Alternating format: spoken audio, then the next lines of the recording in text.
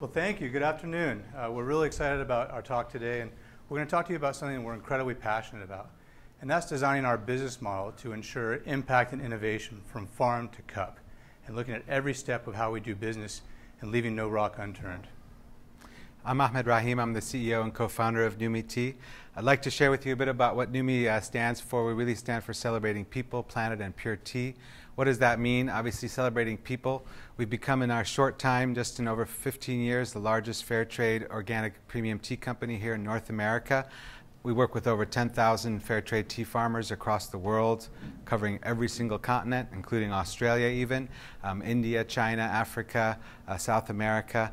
And working with these farmers is obviously a, a, big chore because they're these indigenous farmers in small communities around the world, and they need a lot of hands-on attention.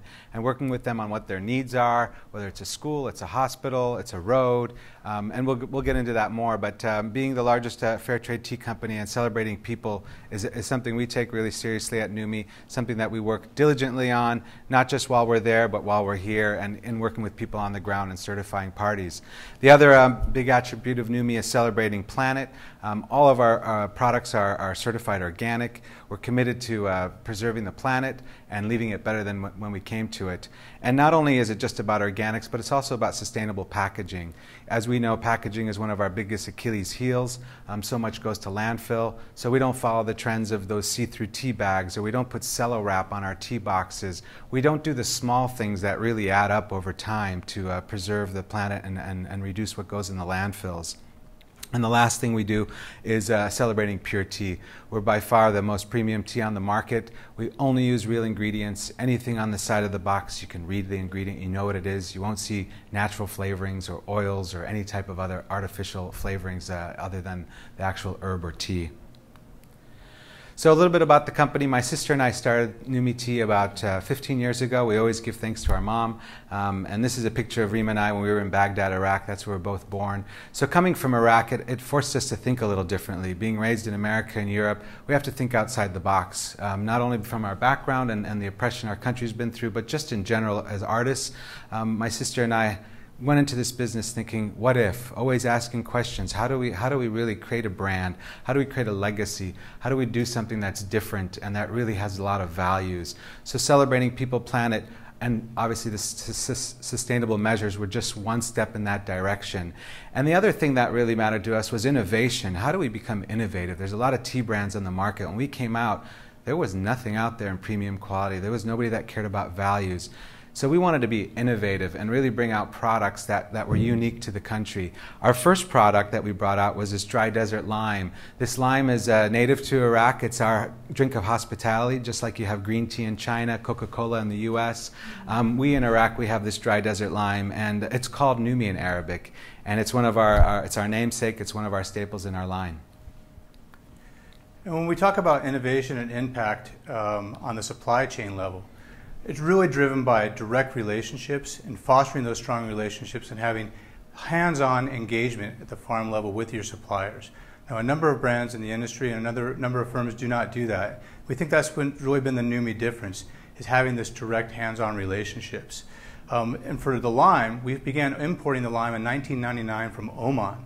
And for many years, we were working with a number of farmers, about 250 family farmers. Each of them had a tree or two trees in their yard and we were importing this lime. But the coordination wasn't scalable for that. Nor could we achieve organic certification or fair trade certification or other social certifications. So as the business grew, we partnered with partners in Egypt. And our Egyptian partners are the folks who really helped us really develop the lime and make it a much more commercial enterprise.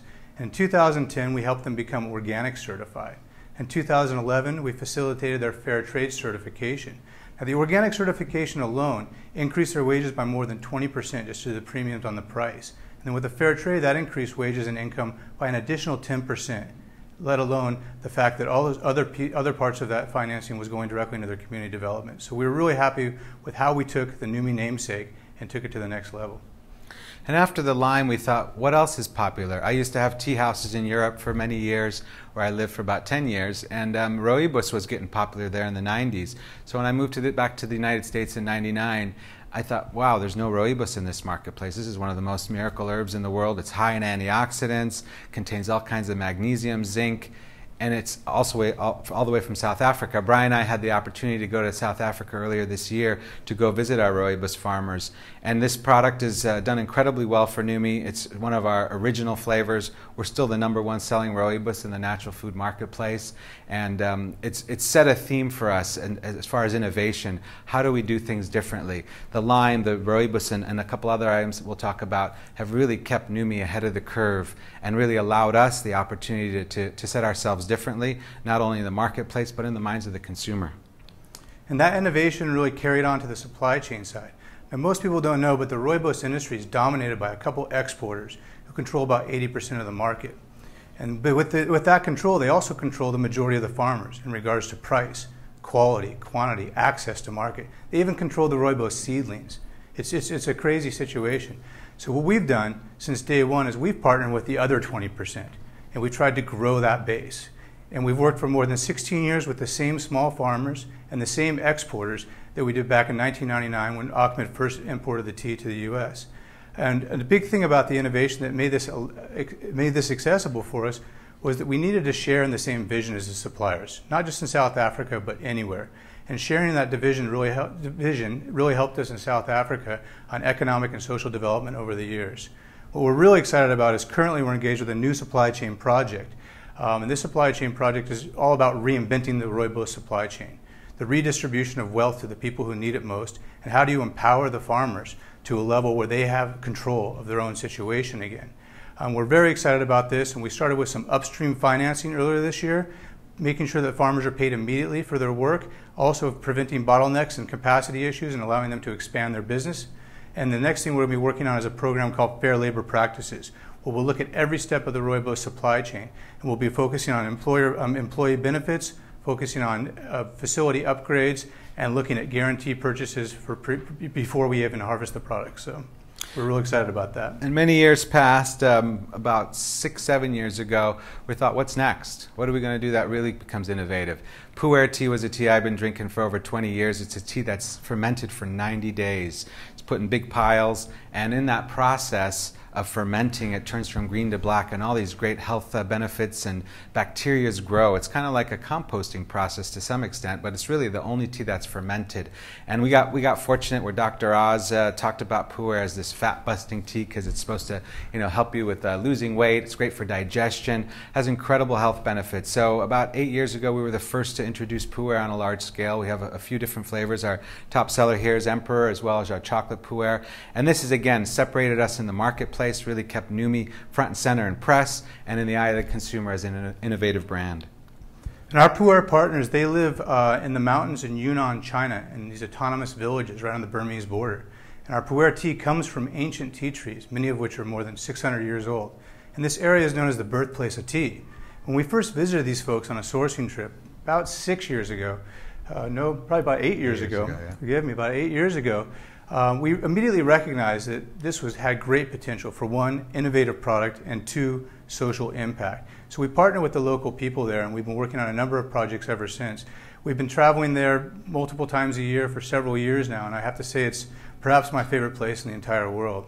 Um, but when we first started partnering with them, step one was to help them become organic certified. We hired organic consultants, we worked with them directly, and we got them certified under a wild harvest certification. We've been paying for their organic certification ever since. And step two was to implement our fair labor practices, the things we're just getting started in South Africa. This is our flagship partner for fair labor practices, which is Numi's own proprietary program for, dri- for driving social sustainability in the supply chain. And fair labor practices is fundamentally a continuous improvement program that looks at the labor conditions, it looks at the work conditions, and it really fosters direct trade and sustainable agriculture. Now, over the years of these partners, we've invested more than tens of, ten, we've not just more than $10,000, probably closer to $50,000, tens of thousands of dollars on the number of different projects that we're working on with them. And we've seen tremendous impact through our audits and through our processes with them. Um, first of all, we were able to rebuild their factory. We were able to provide increased wages. We provided occupational health and training, health and safety training. And we also were able to do a number of other benefits that, that have really drive, driven advancement in their community year over year. You know, and hearing Brian, I just think of all the trips we've taken all around the world and, and all the travels and the villages we've been in and all these indigenous communities. And, and one of the pleasures of this is we get to try and, and, and find unique herbs and teas that, that aren't exposed here to this, this marketplace in, in U.S. and in, in the Western world. And on our travels over to Indonesia and Asia, turmeric kept popping up. Why isn't this turmeric anywhere here? It's like this huge ginger. I mean, in, in the big chains in, in Asia, they sell 100 counts of just turmeric and tea bags. And so uh, a couple years ago, I went to the team and I said, hey, well, why don't we do turmeric? You know, this isn't hot. Uh, this isn't uh, uh, hot yet in America. We had just come off of doing this savory tea uh, we launched four years ago, dried vegetables and spices. That didn't do so great, but you know, we love to try new things. So just uh, a year ago, we launched this line of turmeric. It's done incredibly well. It's, it's the miracle sort of root, just like ginger. It's quite popular all over the world. And, and now with these four new flavors we just introduced, they've really had incredible success in the natural food and now even in the grocery channel. Um, and we and uh, have Brian speak a bit about that. And we were just happened to be in Madagascar, uh, what four months ago, one of the poorest countries I've ever seen in the world. And uh, yeah, as Ahmed mentioned, our, our, turmeric supply comes from a farmer cooperative in Madagascar, and they live among about 15 villages along the river. Um, and one of the interesting things is they actually transport the turmeric and the other spices they produce out of the region via canoe it's pretty crazy to see the different steps that it takes in a supply chain to get this product to the whole food store shelf. It's unbelievable. Um, but when we first met them in 2013, we realized that they had just obtained their organic certification. But we wanted to figure out a way to take the partnership to a higher level. So we started working with them on fair trade certification. It seemed to be the obvious choice. They were already a cooperative. Uh, they already there was already fair trade operations in Madagascar from some vanilla projects. So we partnered with them and we helped them become fair trade certified. We contributed thousands of dollars to the whole process, not only for the certifications, but for equipment and for training and a number of other things to get their whole farm and the community up to speed. And in 2014, about mid 2014, I'm happy to say that they earned their fair trade certification.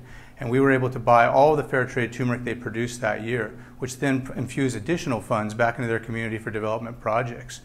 And when we were there a few months ago, it was almost like a celebration on the side of the river. It was unbelievable. And we spent a lot of time talking about the great success we've had so far and where the relationship can go. And that's where we got a lot of new ideas on what's next and what can we do next. I'm going to let Ahmed talk to you a little bit about that. Yeah, and you know, I think from my sister and I 15 years ago, always asking what if. Um, you know, for us, it's not enough just to be organic. It's not enough just to be fair trade. It's not enough to pack, package it in the most sustainable packaging. We always like to think outside of the box, and we always like to ask everyone what if. And, and about a year ago, actually, before we went to turmeric uh, and Madagascar, we wanted to do something bigger and, and grander than, than some of our values. And we, we came up with this idea of, you know, without clean water, how do you have good tea? And there's over 700 million people without access to clean, safe drinking water. So we put together um, an idea called Together for Hope. It all boils down to water.